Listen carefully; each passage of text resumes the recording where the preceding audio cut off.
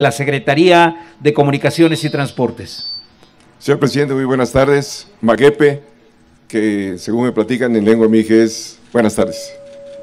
Estamos en la inauguración del camino de concreto hidráulico a Santiago Nejapilla, que en realidad en el diminutivo es en el agua de ceniza. Este es un camino que tiene 4.7 kilómetros, se ha desarrollado en dos etapas, el año pasado una parte y este año y la verdad es que hay que reconocer el trabajo que hicieron en la participación comunitaria del Comité Pro Caminos y además el acabado que se le dio al, camino porque trajeron piedra roja de alguna distancia importante y además en el, en el ámbito del concreto pues, le dieron hasta su estampado, o sea, el, el, acabado que usted puede apreciar en el, en el propio camino. Es un trabajo muy detallado,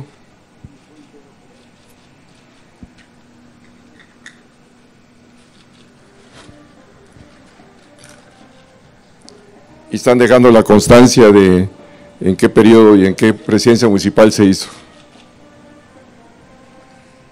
Ya está concluido y ya está en operación en beneficio de los habitantes de esta región. Sin embargo, es un momento adecuado, señor presidente, para retomar un poco, hablar de todo el programa de pavimentación a cabeceras municipales. Eh, dentro de unos 10 días se cumplen dos años de que usted dio inicio, se dio el arranque a este importantísimo programa en San Juan Evangelista Analco, ahí en la Sierra Juárez, en el norte. Y en ese día se entregaron 50 cheques a igual número de presidencias municipales, ya que en el 2019 hicimos, se firmaron 108 convenios con igual número de municipios para arrancar el programa. Y el año pasado se terminaron 25 de esos municipios, con 386 kilómetros de longitud. Sí es importante también destacar algo. Originalmente el programa se había contemplado que hiciéramos una, que ellos construyeran una rodera, o sea, un solo carril de circulación con sus libraderos, considerando que no iba a haber mucho tránsito sobre cada uno de ellos. Sin embargo, los presidentes municipales nos insistieron en que teniendo la disponibilidad del derecho de vía por donde estaban circulando, pues se construyeran las roderas para que pudiesen circular dos caminos, digo, dos vehículos simultáneamente.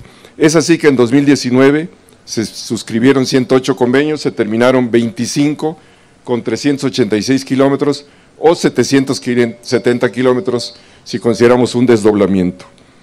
Originalmente, insisto, se firmaron 50 y después fueron otros 58 municipios. Para este año 2020 se firmaron convenios con 133 municipios. Y aquí diría uno, bueno, ¿por qué si ahora fueron 108, ahora 133, solamente se inauguraron 25? Porque las metas son mucho más amplias de lo que los propios eh, presidentes municipales con la participación del Instituto Nacional de Pueblos Indígenas definieron como avances por mes y por año. O sea, las metas que se comprometieron fueron comprometidas por ellos y en función de ese avance pues hay, ha habido caminos que ha habido que continuar la construcción y todavía tendremos que seguir algunos. Hay algún camino que tiene 62 kilómetros de longitud, entonces este nos va a llevar pues todavía un, un buen tiempo. Ya para el próximo año tenemos autorizados eh, los 2.500 millones, de los cuales a Oaxaca se le van a destinar 2.250 y vamos a terminar también, ellos van a terminar con la participación del Instituto Nacional de Pueblos Indígenas en términos de todo el paquete comunitario, la, el establecimiento de los comités pro caminos y de nuestra parte la asesoría técnica y la capacitación. Y nos faltaría para los siguientes años lo que aquí se señala en términos de recursos. Por supuesto, esto se puede reducir en función de la disponibilidad y si hay unas eh, finanzas un poquito más sanas. Pero es un programa que ha dado muchos beneficios, independientemente de la generación de empleo, pues está contribuyendo al microdesarrollo regional e integrándoles al resto de la infraestructura carretera. Vamos a continuar apoyando de común acuerdo con el INPI para que estas comunidades que nos faltan todavía, que son en total de 192 municipios para el estado de Oaxaca, hay otros estados, hay otros 10 estados que tienen también cabeceras municipales no comunicadas en Puebla, en Durango, nada más que tienen otras características. Ya digamos, si hablamos de Durango, pues son carreteras madereras que ya no habría la posibilidad de trabajarlas como se está trabajando aquí excelentemente bien, con la participación comunitaria, con los comités pro caminos y con la gente que es quien los está construyendo. Es cuanto, señor presidente. Gracias.